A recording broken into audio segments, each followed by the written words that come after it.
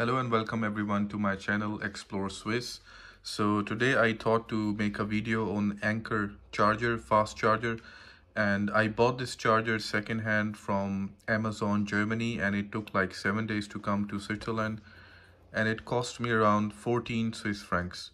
So Anker I saw a lot of videos on this charger on YouTube so I thought to buy it secondhand and because you know when you buy a new iphone uh, you don't get a charger so you should have a charger.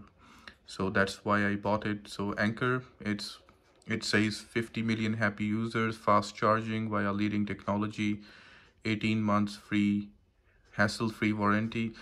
And then it says Anker nano for iphone uh, the cable is not included used it looks like new.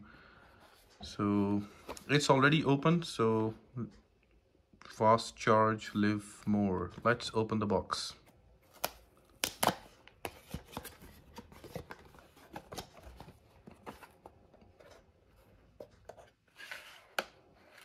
So here is the charger.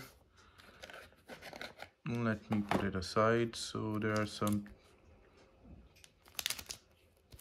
frequently asked questions. So here's the charger itself it's pretty small. It says Anker and power port 3 nano 20 watt. Made in china. Iq it has usb port c which you get free in the iphone. So you can connect it but you have to find i mean you have to buy a charger by yourself. So this is how it looks. Iq3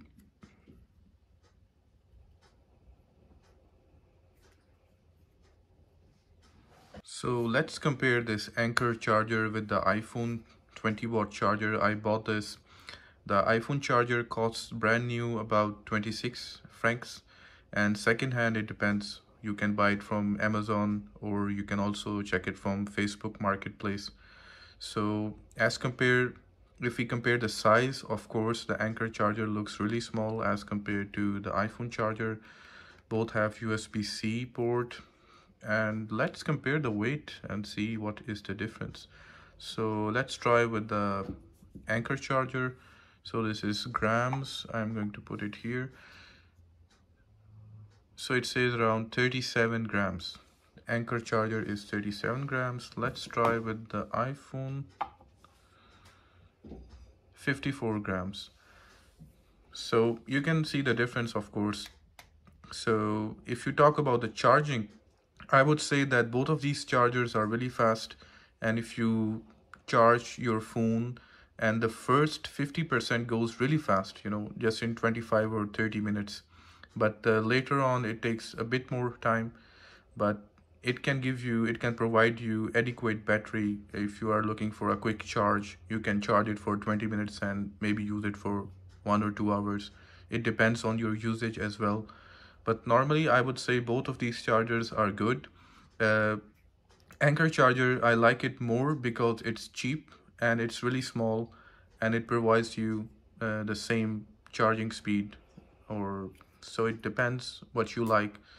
So here we have it, the Anker and the iPhone. Thank you for watching the video. Bye bye.